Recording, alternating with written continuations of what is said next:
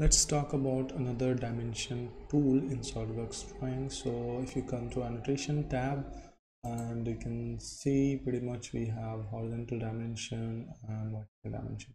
So far uh, we have seen smart dimension and uh, so let's talk about the horizontal and vertical. As the name suggests you can give pretty much all the horizontal dimension with this one. So let's go for here here. Go from here to here. Let's go from here to here. So all these are horizontal dimensions.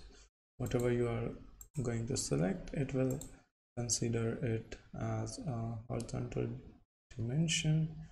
And let's switch it to vertical now and we can give vertical dimension.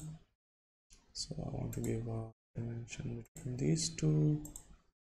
Give a dimension between center point. Okay so i don't want that.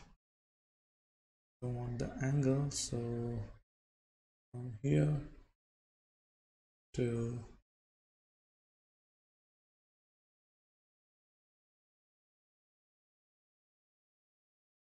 vertical dimension. And from this point to this point should work but I don't know. Okay so yeah. Sticking that thing as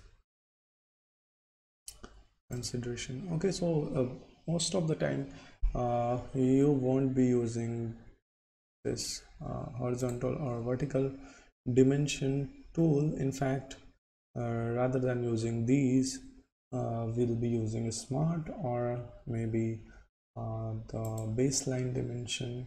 And further we have ordinate dimension. So um, probably smart dimension is the very first option.